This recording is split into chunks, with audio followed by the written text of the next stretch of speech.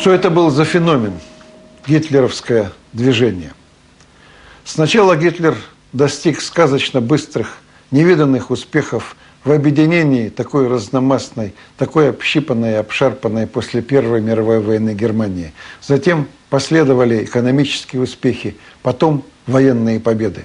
Все это сделало германскую нацию и германскую армию монолитной. Что бы ни говорили после войны об антигитлеровском сопротивлении вермахте, на самом деле ничего подобного не было. Какие бы критические разговоры не вели Гальдер и Рунштадт, Лейб и Клюги и другие генералы, но все это были домашние разговоры для себя. А вот сопротивление германских солдат – тяжелейших зимних условиях под Москвой, в голоде и холоде под Сталинградом, в дальнейшей войне на поражении, заставляют думать об этом как о феноменальном достижении гитлеровского режима. Немцев возвысили над другими народами. Искусственным путем нацизм заставил их поверить в это возвышение и в то, что им, немцам, с помощью расового превосходства удастся сохранить это господство на всю тысячелетнюю историю Третьего рейха.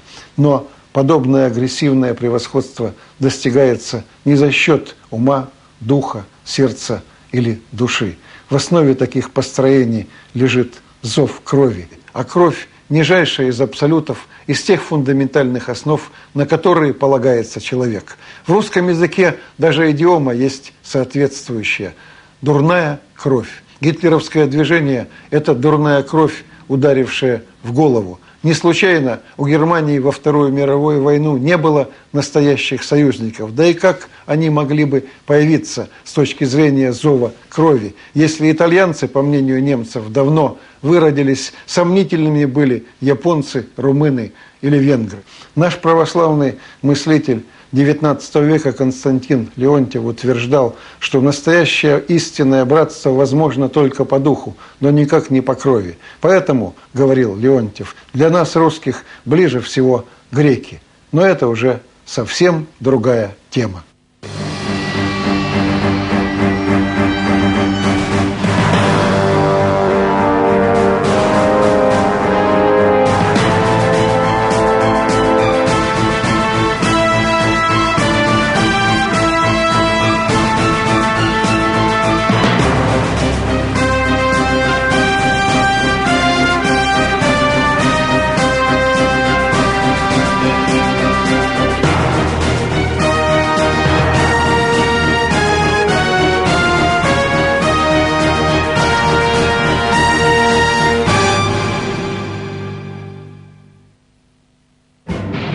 Упорные бои против окруженной под Сталинградом группировки убедили советское командование, что разгромить сходу находившегося в кольце противника не удастся. Шестая армия еще была полна сил, и боевой дух ее находился на обычном высоком для вермахта уровне.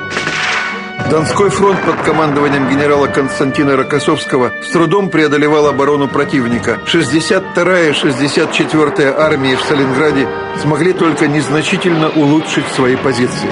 В начале декабря стало ясно, что в загон попал очень крупный зверь, справиться с которым можно только большими усилиями и хорошо спланированной операцией. Но с другой стороны, окруженная шестая немецкая армия с каждым днем все более привязывалась к земле – к своим оборонительным позициям, теряла маневренность и способность наносить контрудары. Армия Паулюса способна была стоять на месте и умирать, приковывая к себе немалое число советских дивизий. Германское командование надеялось деблокировать и спасти шестую армию, создав группу армий Дон под командованием фельдмаршала Эриха фон Манштейна. Отражая фланговые удары советских армий, Манштейн сумел создать ударный танковый кулак из 13 дивизий 520 танков, поставив во главе наступавших генерал-полковника Германа Гота. Операция под названием «Зимняя гроза» началась 12 декабря. Из района Котельникова в 155 километрах от окруженной группировки войска Гота двинулись в наступление. Еще одной не менее важной задачей для Манштейна, чей штаб располагался тогда в старой казачьей столице Новочеркасске, было удержание Ростова-на-Дону, в случае потери которого Вермак был бы полностью разгромлен на юге. Планы противников были в этот период встречными. Манштейн прорывался к Сталинграду, а Красная Армия стремилась отрезать около 800 тысяч немцев на Северном Кавказе. Танкисты Гота в первые четыре дня азартно с боями двигались вперед. Если бы шестая армия 17 декабря попыталась прорваться на юго-запад, возможно, что Сталинградская битва закончилась бы непредсказуемым результатом.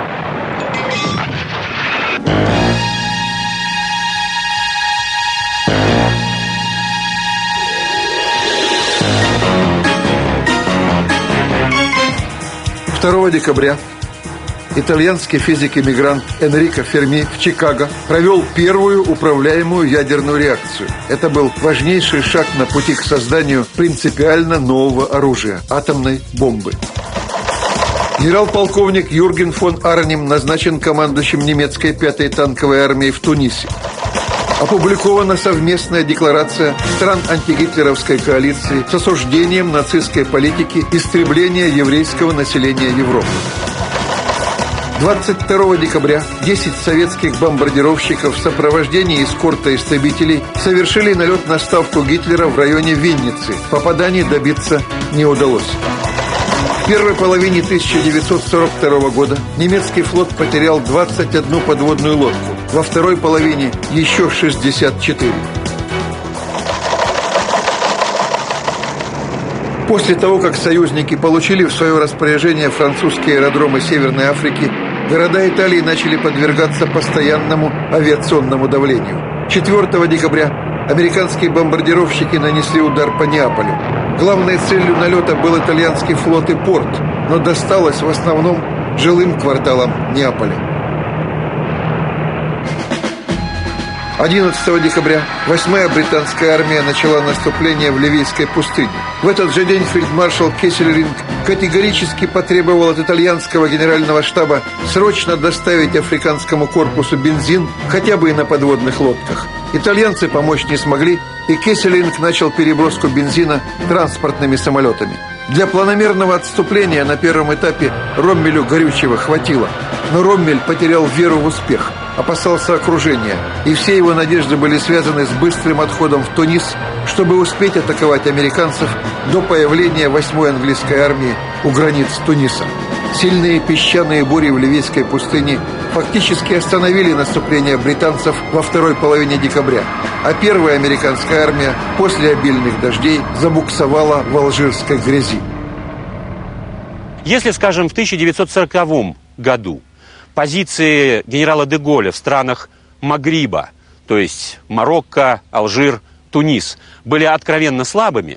Здесь э, всем заправляла администрация Виши, то теперь, после высадки союзников в Северной Африке, после откровенно беспринципной переориентации лидеров Виши и после знаменитого заявления генерала де Голля, обращения его к миллиону французов, которые жили в Северной Африке, акции Деголя пошли резко вверх. 24 декабря 1942 года в Алжире в результате покушения был убит адмирал Дарлан. Личность во многом противоречивая, сложная и, вне всяких сомнений, трагическая.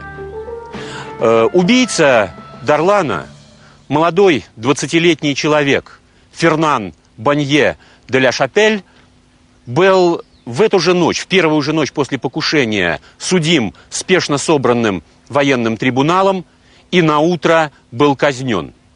Загадка этого убийства так и осталась неразгаданной. После смерти адмирала Дарлана гражданским и военным главнокомандующим, вот такая довольно странная должность была придумана, был назначен генерал Жиро.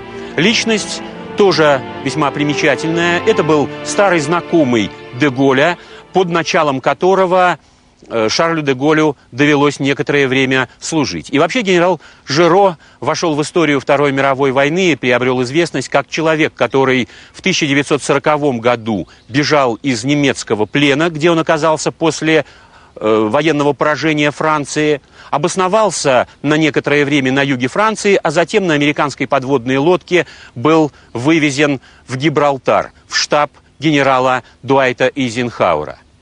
После назначения генерала Жиро Деголь немедленно попытался вступить с ним в контакт. Однако в той ситуации Жиро от контактов с Деголем отказался. После успешного завершения операции «Уран» и окружения армии Паулюса Сталин потребовал от генерального штаба срочно разработать операцию по отсечению всех немецких войск на Нижнем Дону и Северном Кавказе. 16 декабря войска Юго-Западного фронта начали наступление. Несколько танковых корпусов разгромили 8-ю итальянскую армию и наспех сколоченные резервные немецкие части. Но развить прорыв на Ростов Юго-Западному фронту не удалось. Движение танковых дивизий ГОТА к Сталинграду заставило наши войска изменить свои планы и заняться отражением удара Котельниковской группировки. Манштейн считал, что Красная Армия упустила тогда возможность продвинуться до самого Ростова. Но Сталин и Василевский боялись упустить армию Паулюса из котла, погнавшись за призрачной возможностью покончить с войсками вермахта на Северном Кавказе. Движение танков ГОТА несло в себе опасность. Передовые отряды немцев уже видели в небе всполохи сталинградских пожаров. До позиции окруженных оставалось 35 километров.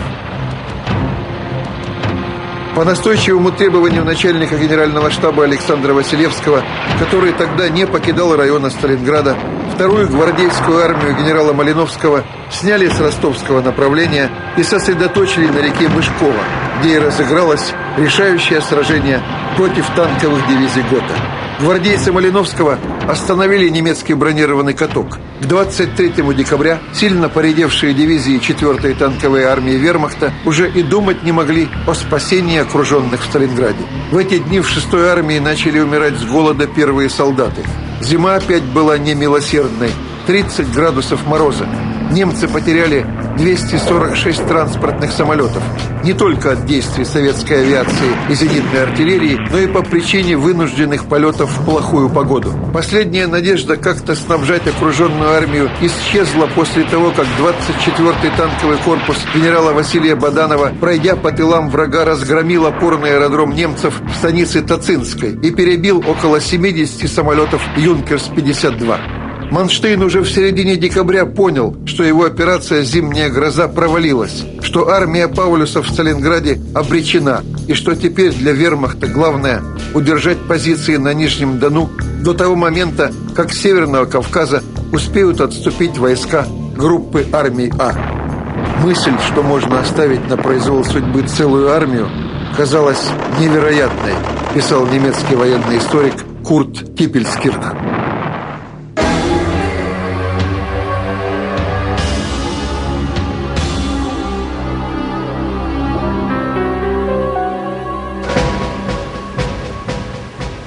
Командующий второй гвардейской армией Родион Яковлевич Малиновский родился в 1898 году. В Первую мировую войну в составе бригады русской императорской армии воевал на Западном фронте во Франции. По воспоминаниям сослуживцев отличался храбростью и мужеством. Закончил военную академию имени Фрунзе. В июне 41 года Малиновский произведен в генералы. Командовал корпусом, армией, затем Южным фронтом, с которым потерпел поражение летом 42 года. В декабрьских боях вторая гвардейская армия Малиновского внесла решающий вклад в разгром ударной группировки Манштейна и не позволила пробить коридор к окруженной в Сталинграде армии Паулюса. В дальнейшем мы будем встречаться с Родионом Малиновским в качестве командующего фронтами, освобождающими Украину, Румынию, Венгрию и Словакию. По поводу открытия Второго фронта в Европе к концу 1942 года Советский Союз не получил никаких гарантий. Черчилль, правда, убеждал советского лидера в том, что правительство Великобритании очень стремится к открытию Второго фронта, но не имеет для этого ну ровно никакой возможности. А была ли на самом деле какая-либо возможность открыть Второй фронт в конце 1942 1942 года. В глубоком и содержательном исследовании «Второй фронт» Валентин Фалин убеждает нас в том, что да, такая возможность у союзников была. Если бы они вместо Северной Африки высадились в Южной Франции, где тогда вообще не было немецких войск, а французская самооборона вряд ли бы смогла оказать серьезное сопротивление союзников. Была еще одна возможность высадки союзников в самом конце 1942 года. Речь идет о Северной Норвегии, где американцы и англичане могли бы установить локтевую связь с самым северным участком Советско-Германского фронта, обеспечить беспрепятственную проводку конвоя в Мурманск северным морским путем и оказывать весомое давление на Германию из центральной и северной Норвегии. Но Черчилль думал уже о другом. Его волновали проблемы Балкана и Центральной Европы, будущего влияния Советского Союза на балканские страны. Геополитика мешала Великобритании по-настоящему воевать с нацистской Германией. Конечно, с точки зрения Запада Черчилль, наверное, был прав. Но русским по-прежнему в одиночестве надо было приносить жертвы на алтарь будущей победы.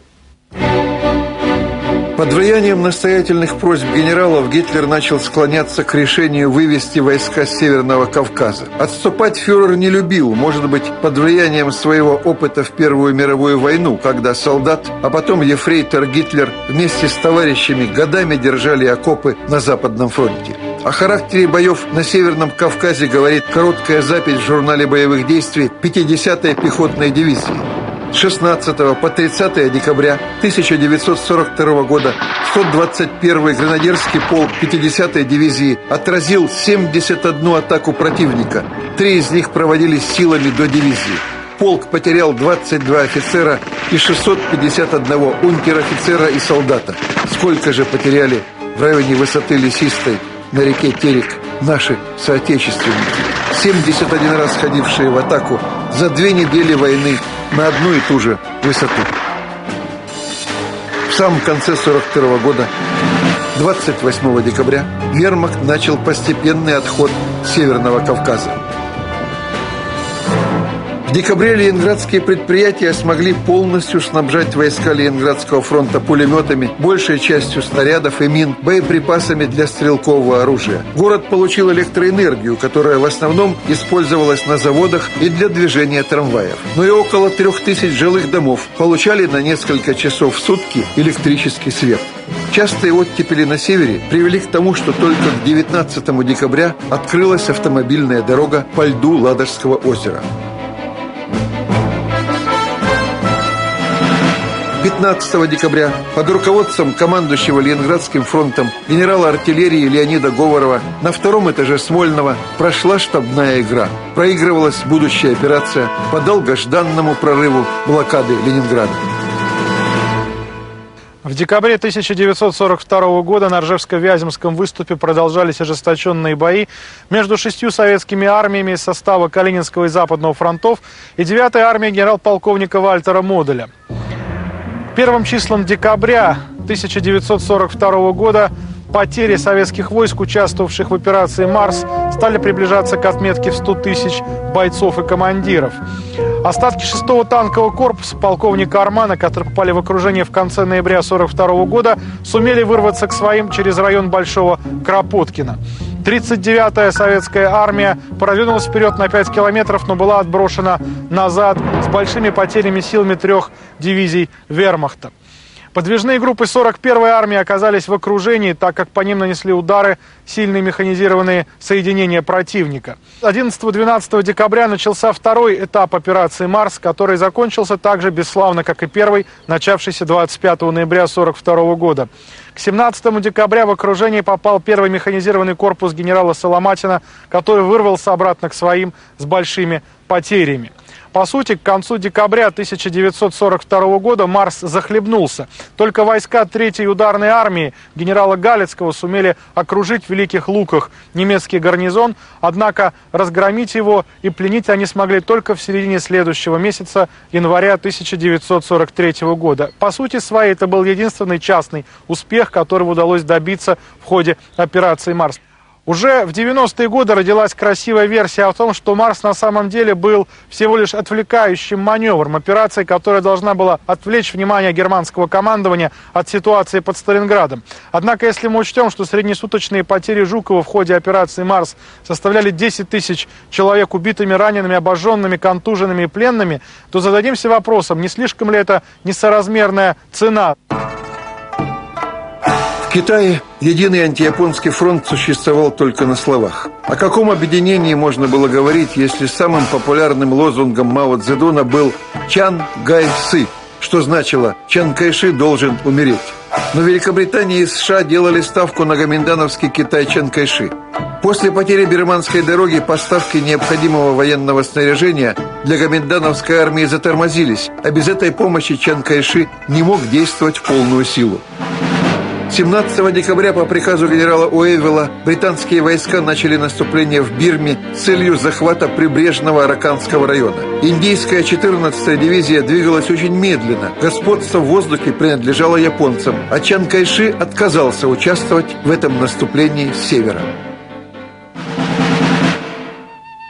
26 декабря император Японии Хирохита издал рескрипт, в котором говорилось «Император обеспокоен большими трудностями военного положения. Темнота очень глубокая, но рассвет готовится встать на небосклоне. Сегодня собраны лучшие части армии, флота и авиации. Раньше или позже они двинутся на Соломоновые острова, где происходит решающая битва между Японией и Америкой».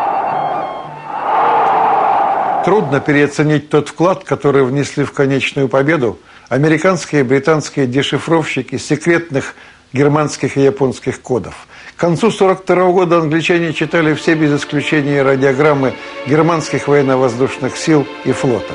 Несколько талантливых людей с математическим складом ума заменяли собой целые армии, эскадры, ведущие бои. Германские подводные лодки каждым включением своих радиостанций обнаруживали свое место в море и цели. Британские и американские конвои обходили эти места расположения подводных лодок, и лодки Денниса оставались ни с чем – на Тихом океане американское командование знало секретные планы японцев, потому что тоже давно читало их коды. Приведу всего лишь один пример из декабря 1942 года. Японское командование решило направить на остров Гуадалканал подводную лодку. Американцы узнали, что 9 декабря эта подводная лодка будет находиться северо-восточнее Гуадалканала в известном им квадрате. Этот квадрат был забросан глубинными бомбами, и подводная лодка уничтожена. В войне умов союзники имели явное превосходство над странами оси. 31 декабря в японской ставке при участии императора Хирохита прошло совещание, на котором было принято два важнейших решения. Первое – прекратить наступление в юго-западной части Тихого океана. Второе – оставить остров Гуадалканал. Конце года 1942 японские военные руководители осознали невозможность победить Соединенные Штаты Америки. Страна восходящего солнца переходила к стратегической обороне на дальних подступах к японским островам. Президент Рузвельт заявил, что в декабре Соединенные Штаты произвели 5500 самолетов. Германская разведка доложила об этом Гитлеру. Фюрер просто закипел от негодования и запретил своему штабу употреблять эту глупую пропаганду врага. Всего в 1942 году США произвели 47 836 самолетов. Германия 15 288. Советский Союз 25 436. Великобритания 23 672. Япония 8861 самолет. Две говорящие цифры. Германия в течение 42 года выпустила 5056 танков, а Советский Союз 24 500. Из них около 5000 Т-34. И в заключении две коротких, откровенных цитаты. Признание наших недолгих союзников –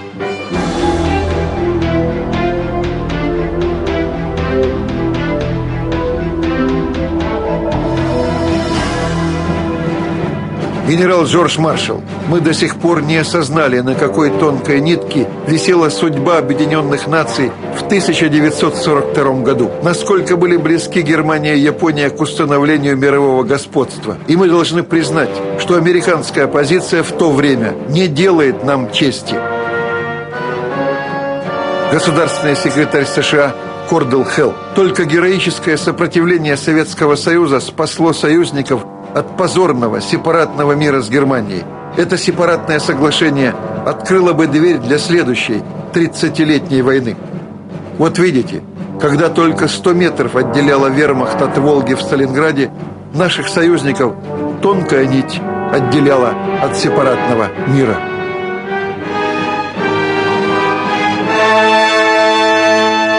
Тяжелейший в истории советской России год заканчивался. Год испытаний, год крови, пота, бед, катастроф, потерь. Но выдержали, но выстояли, но выжили. А тех, кто выжил в этом бесконечном году, обрели уверенности в будущем и в себе. В новогоднюю ночь на 43-й год уже как откровение коллективное сознание народа ощутило, что начало долгого пути к победе пройдено.